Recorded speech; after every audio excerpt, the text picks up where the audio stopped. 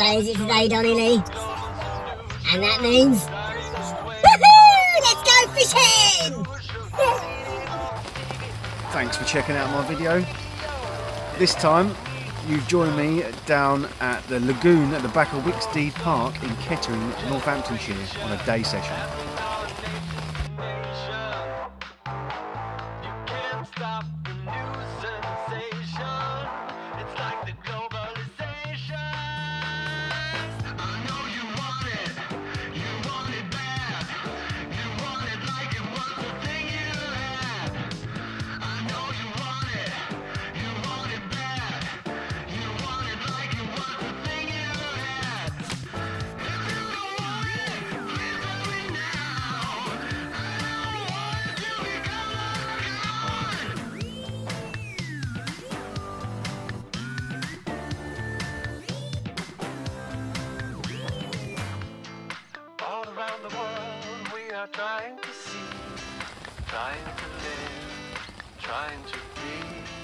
To the unknown and the deep blue sea, learning to fly away from all of the lies. I'm learning to cry, yes I'm learning to try, surfing with our allies through this clear blue sky. I don't know. Well, as you had seen in the intro, I've been invited down to fish on a day session down at the lagoon at the back of Wicksteed Park in Kettering, Northampton. Invited down by co-chairman Ollie Smith. Invited down today. Hopefully do a little bit of a video. Hopefully catch some fish. The uh, weather is less than favourable and it's raining, but at least it's not freezing. Uh, no interest of yet. We got here first light, but yeah, not had nothing yet. But there's still plenty of time. It's only half past eight, I think, in the morning. Uh, at some point soon, I'll uh, flip the camera around and get Ollie to answer a few questions of plans and stock levels, things they got coming up. They've done a lot of work down here over the last two or three years, changing everything around it really. Pegs, building more pegs, sorting out the water problem because they had a problem with a collapsed pipe. So they used to suffer in the summer with the water levels. But yeah, it's it's a cracking little venue. Predominantly tench fishery really. So uh, yeah, soon I'll talk to Ollie and uh, he can answer some questions. Well, hello. You join me and Ollie to a bit of a Q and A and ask answer a few questions. So the first thing I've got is uh, your plans for the future. Well, yeah, plans for the future. It's um, it's sort of short term and long term, really. I guess in the, in, in the short term, we've got um, we've got some bigger carp that we uh, that we're going to introduce to the lake this winter. Um, sort of high doubles, which hopefully will go on to the twenties um, in a couple of seasons' time. Just a small, just a small head of carp we want to we want to keep in here. Don't want it to never going to be a, a carp water as such, you know. So we Yeah. just want uh, sort of a few a few target fish really to keep um, keep the carp boys happy. Um, that's the that's the immediate future. The sort of long term. I mean, you can only sort of plan so far ahead, really, but we, we definitely plan to increase the, the tench numbers in the lake. Um, stock in tench, for, for those who don't know, is a, is a, a very very expensive uh, and, very um, drawn out affair in that um, tench are quite a slow growing fish, um, quite an expensive fish to stock, so you can't necessarily, um, unless you've got pockets full of money, just uh, fill a lake with tench. So in the um, the sort of not short term but sort of middle term, we, we, we plan to, to stock the, the arm of the lake with um, some tench and crucian carp to sort of grow them on, but have them in a in a, in a spot where they'll be relatively predator safe um, and will enable people to, uh, to have a little bit of a dabble for them whilst they're whilst they're back taking on some weight before we then move them over into this lake. So there is a plan to increase the tench, but it certainly isn't a quick one, and one um, take a bit of time and a bit of money to do so. Um, but yeah, the bigger carp will be appearing in the winter, so this time next year. To watch this space. yeah, this time next year, hopefully a few of them will grace the bank at a, at a pretty good weight. So, uh, what things have you done since you've taken on Yeah, the so lagoon? We've we've had the water now since 2017. Um, started it with a bit of a shoestring. Um, Club Assets was uh, was a, a spade when we started. Me, Mick, and a spade. Um, we didn't have a great deal of capital inve- to invest, you know. So we um, the first season was a case of just get people get people fishing it, see what was in here. Um, luckily, the tench was still in here, and um, more fortunately, I guess, um, there's still some very big pike in here, so that meant that we could get some members. Once you've got members, you can get a bit of money. Once you've got money, you can do a little bit of work. So there's the obvious stuff. A lot of the pegs have been rebuilt. Um, a few double pegs, a few smaller ones to try to accommodate the guys who want to fish overnight, those who want to fish for the day. We've moved fish in here, so we're fortunate in that we're we're able to move silverfish over from the boating lake a couple of times a year. Uh, permit permitting, of course. Um, so we've obviously increased the stocks. A select few fish have gone in, carp. Um, more recently, we put in uh, just under 30 um, ghost carp, ghost boys that have gone in. Um, but I guess the, the main work is, uh, with the help of a bit of funding from the Environment Agency, um, is the improvement to the water level via the new supply pipe that we've had put in. Uh, so we've had a brand new feeder pipe connected from the boating lake over to the lagoon, which will now ensure that, that we don't suffer the low water levels that we've had uh, in the summer before. It, uh, normally at this time of year, although it's hard to believe with the amount of water that's falling out of the sky at the minute, yeah. generally speaking, at this time of year, we normally start to lose a bit of water. Um, it really does put the fishing down. It, it, it makes it very hard. Makes it so that the, the birds can reach most of your bait. Uh, makes it very, very difficult. But as you can see, uh, the water level is, is at a nice, healthy level at the moment. Helped by the rain as well as the as well as the water coming through the pipe. But we'll be able to maintain decent water levels now, which will mean that we can we can increase fish stocks without worrying about problems with, with the water level and things like that. So that's good.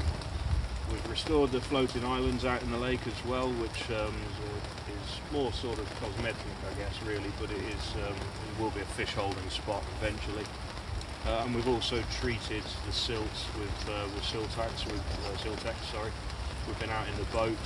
Um, sounds straightforward enough. Go out in the boat and pour a load of, uh, of chalk over the side, but uh, it was, it's involved a lot, a lot of hard work.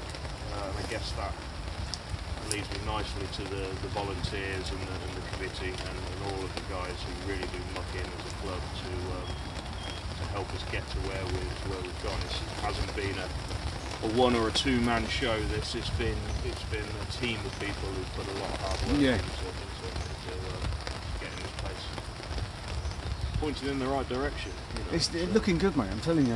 What Yeah. you've been doing over the last couple of years, since I've been fished it and following you, you've done a lot Oh, of well, hard work. um, I'm glad that I'm glad that you that you notice it's uh, you know, running a fishery. There's as much happens behind the scenes as it does in the foreground. You know, so a lot of the time, especially in the first couple of years when we were negotiating with the, the, with the park, we were talking with the environment Yeah. agency. You know, we were trying to get wheels wheels turning, and you couldn't see any action in the foreground. So the assumption in some cases was it wasn't that nothing was going on, but nothing could be further from Yeah. the truth. You know, and now you're starting to see the results of all that in the you know in the real world because of the time that's been put in in the, in the background, getting everything you know getting everything It's ready. looking good now, mate. Honestly, especially when the sun's shining. This lake looks lovely. Yeah, I know. Pick the, pick the day for it. yeah, we have did. picked the day for it. So, uh, what sort of kind of stock levels do you think still in here, like tench, carp, and your pike? Because I know this is very good for pike fishing in the winter season. Yeah, uh, I mean, there's there's still a, a, a large amount of unknown, really, uh, and that's and that's the way we'd, we'd like to keep it, depending on who you ask. Um, Always the uh, way. There's a few there's a few shadows that um, that, that people uh, you know people notice and, and look at, and, and, and apparently that's some of the original stock. You know, a couple of the, the big common carp are, are supposedly still in here, and they're you know they're, they're a pretty good size. Yeah. Um, certainly don't make very many trips to the bank that I'm aware of, but there's a few guys who target those. You know, um, say carp stock levels will, will always be relatively low. You know, Yeah. They're never going to be. They're never going to be high because it, it isn't that sort of water. We can't. We can't and don't want to, uh, you know, accommodate a bank full of people with three rods each. You know, go for the carp. We want there to just be a, a few nice fish in here. That's that's, the, that's always been the idea. Um, so, you know, you probably by the time we finish with the carp, you'll probably be looking at between sort of 35 and 40 fish maybe, all of which are individual fish. Yeah. all of which are quite. you know, I've seen some of the, the, the footage you've put up recently on uh, your, your club's WhatsApp group of some of the fish you've stocked recently, and those some of those ghosties you've put in, and Yeah, the, yeah, the ornamental ones, they look really pretty. They are, and, and and the fish that we put in before, you know, there's a couple of commons, a couple of mirrors that are very distinguishable, very noticeable fish. Um, and again, the ones that we'll put in at the end of the year, they might not be anything.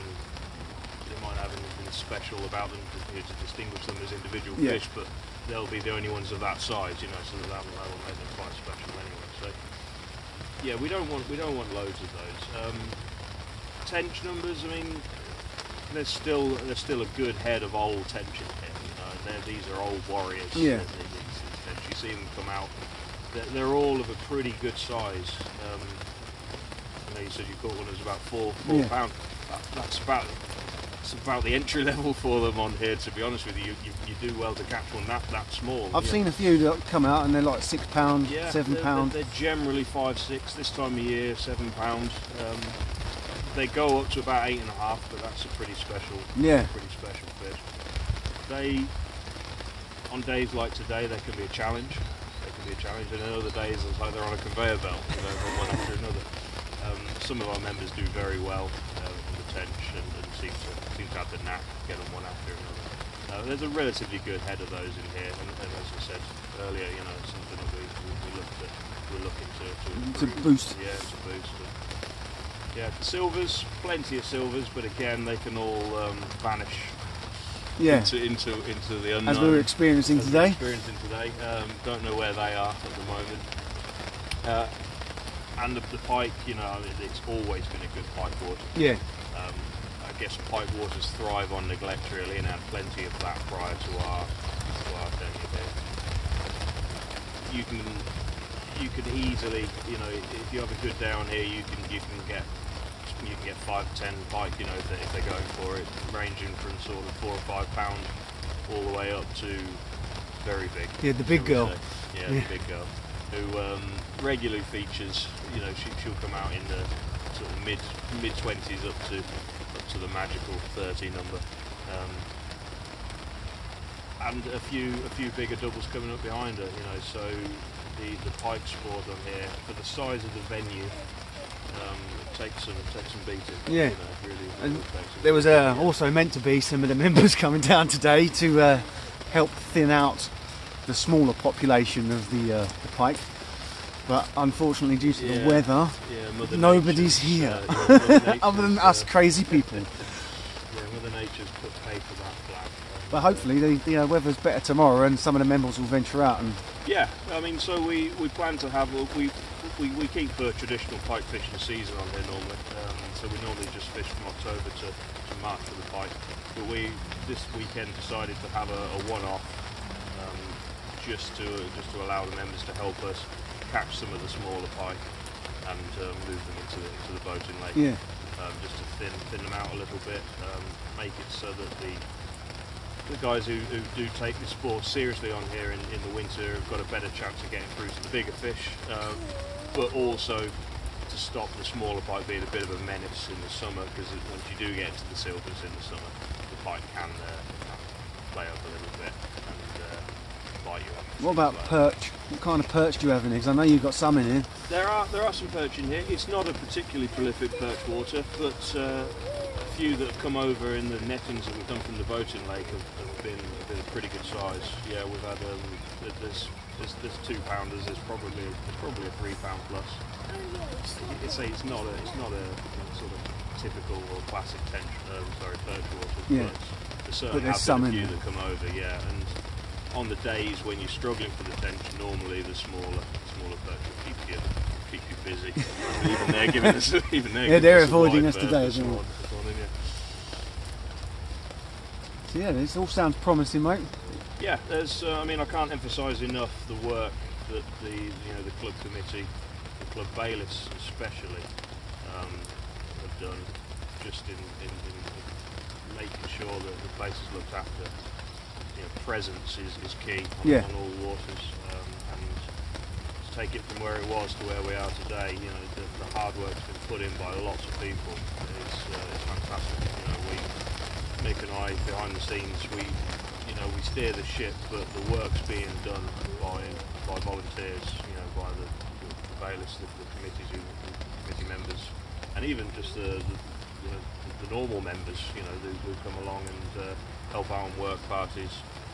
Really, really good to see, especially that some of the younger, some of the younger members who you Yeah, clearly Will. see. Yeah, yeah. Will's very involved, I've noticed. Yeah, Will, Michael. I mean, there's there's there's all sorts too many to, to mention by name, but you can see that you can see the sport's in good hands for the future. You know, you can see that, that at some point when we do pass the, the baton down, um, they've got the right idea, they've got the right ethics, they've got the right everything Yeah. um, to to, um, to just to make sure the sport's in good hands going forward. It's, it's really really good to see. And when we first, you know, when we first set off to two mates trying to get themselves a lake and they finally got one, we, we said if we can just get a handful of decent people involved with this, we'll, we'll be okay. And we haven't got a handful of decent people, we've got lots of decent people Yeah. involved. And that's, that's just been amazing. So- Do you have a- a limit on your members? Is there a waiting list? Well, we have just started the waiting this year. I mean, membership this year is maxed out pretty quick. Um, it's, it's it's not a huge water. You know, we have, you know, we can accommodate probably 10, 12 people on here any any given time. You know, so obviously there is a limit Yeah. to the amount that we can have. Um, so once you get to sort of the, the sort of high 40s, sort of 50 mark for members, um, sounds sounds a lot, but you know, it uh, it we've um, we've worked up to that number. Yeah. Making, you know, we started with you know, 15, 20, 30, we, we moved up, and we we know we can accommodate around about 50 people without it ever getting crowded down there. You know, the busiest that it ever gets is sort of five or six Yeah. people. It's most we've ever um, at any one time. So membership numbers this year have sold faster than, than they ever have. You know, so we are at a point now where we're, we're moving people onto, onto the waiting list. Yeah, which normally, you know, April, May, June, July, we normally get to a point there where we where, Yeah. we, where we cap it. Um, but this year, If May, people are, um, May, and, and it, so obviously people can see the Yeah. effort that's being made. you if know, people and, are uh, interested and want to be on said waiting list, how much is a, a season ticket and things like that? Yeah, so a season ticket, uh, a whole uh, whole year annual ticket from start of April all the way through to the end of the following following March. Uh, Sixty pounds for the year. Um, Which is phenomenal value, to be honest. well, yeah, I mean it, it's we, we are at a club, you know, but we it's uh, there's a, there's, a, there's an amount of exclusivity about it. You're not gonna, ever going to be fighting for a swim. You Yeah. know, you, you're always um, you're always going to be able to get on.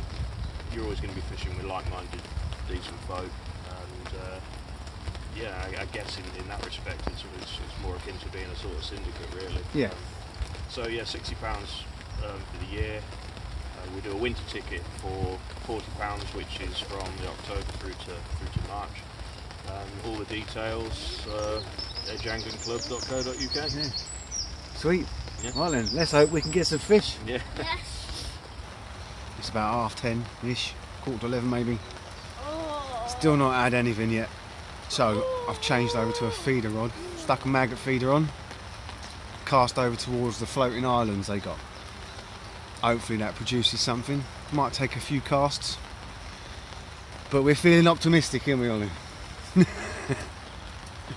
We're optimistic. Optimistic. Maybe. Hopefully we can get something. Any So- second now. Yeah, any second now. That's what Ollie's been saying all morning. Any second now. Hopefully. Fingers crossed. Well, hello everyone. That's it. We're all done now at home. Trying to warm up before I empty the car. Ended up being a big fat blank, unfortunately. Not through lack of trying. Me and Ollie tried everything that we had at our arsenal. Um, yeah, Donny Lee had no interest on his carp gear. They were also doing today trying to thin out the pike population in the lake because they got a lot of quite a lot of small pike as well. Um, only a couple of lads turned up, obviously, because the weather was pants. Um, but a couple were caught and put into the main lake of Wicksteed Park. So yeah, it was a good day. I enjoyed myself sitting there and catching up with Ollie, and putting the world to rights. Um, Ollie's going to send me some pictures of fish that have been caught recently, some of the tench and the carp that they've put in. So I'll uh, I'll add that onto the end of this. If you haven't subscribed, please hit the subscribe button and don't forget to push the bell notification so you get a notification of every time I upload.